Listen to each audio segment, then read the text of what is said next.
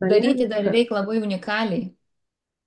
Jo, tai man teko keliauti šitoje, šitoje nuostabioje bendruomenėje, patikėti Vilmą ir e, keliauti, liudyti, liudyti ir, ir mūsų visų kelią, e, vat, tų dalyvių ir liudyti Vilmos, Laurinos, Mildos, jų pačių, ar ne, augimą asmeninį ir mūsų augimą.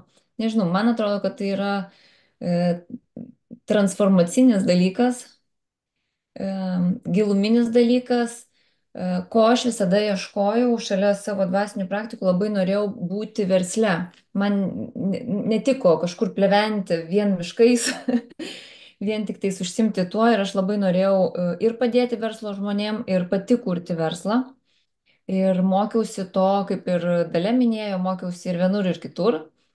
Bet visur būdavo, kad e, turi kažką daryti, ar ne? Kažką daryti ir visiškai nelabai, nu, nelabai kas nors norėjo atsižvelgti į tave kaip asmenybę, kaip unikalų darinį, e, nes solo verslas tai nėra organizacija, o, o, o tu tada atėjęs kažkaip bandai, e, būdamas solo verslininku, daryti kaip organizacija.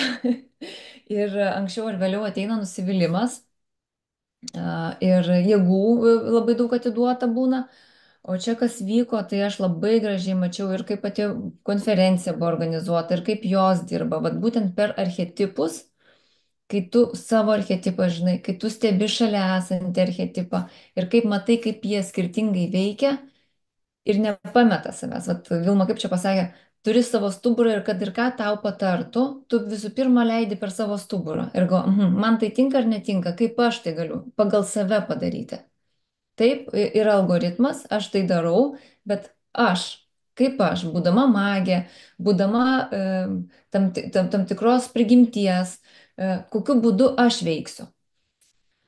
Aš jau sakiau ir dar kartą noriu pasikartoti, kad taip kaip yra pagrindinis mokslas tiesiog mums kiekvienam privalomas, kaip mes turime ten dešimt klasių pabaigti visi iki vieno, paskui darome, ką norim, taip solo verslai turi pabaigti lideriną. Tam, kad jie iš viso susivoktų, kur jie yra, kad jie savęs nelygintų su dideliais verslais, kad e, žinotų elementarų dalyką. Netgi šią penktadienį aš buvau vienoje įrašų studijoje, ra- įrašinėjome apie personalą podcastus. Ir tenai vyras sako, aš savo žmonai sakau, jeigu tu taip, tai iš viso viską mesk ir grįžk į samdomą darbą. Ir aš sakau, tu nedrįsk, nedrįsk šitaip moteriai sakyti. Sakau, kiek jinai yra verslė, sakau, tu žinai, kaip yra baisu, aš žinau, koks yra skausmas mesti prieš aušrą. Kai tu jau praeini, praeini ir nežinodamas, kad va tie, va, ačiū Sandrai, du metai yra nematomumo zona ir kad su tam viskas yra gerai. Ir ir kad e, tiesiog reikia tiesiog daryti, daryti, tikėti, daryti, turėti savo didesnį kodėl už save ir jo siekti prašyti pagalbos, e, bet lyderinę, tiesti ranką, sakyti, žino, žiūrėkit, man kažkur kažkas stringa, padėkit, einam kartu, einam drauge. Tai nežinau, solo versle šitokia bendruomenė yra daugiau nei aukso vertės. Žinios, mąstymo keitimas, savęs pažinimas, gebėjimas veikti nebe taip, kaip veikia visi, o veikti žinant algoritmus, veikti vis tiek iš savo širdies, iš savo esmės. Ir ar jau viską padarėm, tikrai ne. Čia praktiškai dabar jau reikėtų dar antrų metų. Jau, jau aš galvoju, tai kas bus, tai jau, jau reikia sakyti, kad merginos, žinokit, neišsiskirstykim, būkim e, šitame e, atskaitingumo taškuose viena kitai. Nes e, tuoj pat žinutės, tuoj pat merginos, o kaip jums šitoje vietoje, kaip jūs čia, o čia, o aš darau taip, o, gera mintis, aš dar taip nebandžiau ir aš tai pabandysiu, ar ne? Tai tas palaikymas, tas žinių struktūruotų, be galo Vilmos gebėjimas sustruktūruoti ir paduoti struktūruotą informaciją yra tiesiog, čia jau ne mano pasakymas, bet kažkurios iš mūsų dalyvių, tai mentalinis orgasmas ištinka per kiekvieną paskaitą.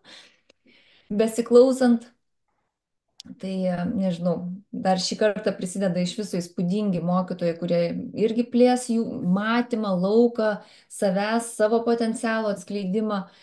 mm, čia mano tema, tas vat, užstrigęs Ferraris, ar ne, kai tu žinai, kad tu gali lėkti, bet, e, bet esi kaimo tvarte uždarytas ir visi tau sukioja pirštą ir sako, žinai, iš kur tu ištraukai, kad 240 km gali lėkti. tai e, šalia tokių mokytojų, kurie sako, liek. Ir aišku, kad trasos yra. e, Ir e, tai nežinau. Pasakyti šitoje vietoje savo ne būtų didžiulis nusikaltimas prieš save.